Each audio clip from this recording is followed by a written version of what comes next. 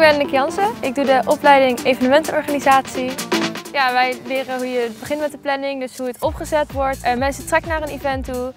Hoe je het vanaf het moment die dag zelf, hoe je alles op moet zetten. Hoe je daar op het event als het klaar staat, hoe je daar alles moet doen. Dus we leren echt gewoon vanaf het begin tot het einde wat we moeten doen.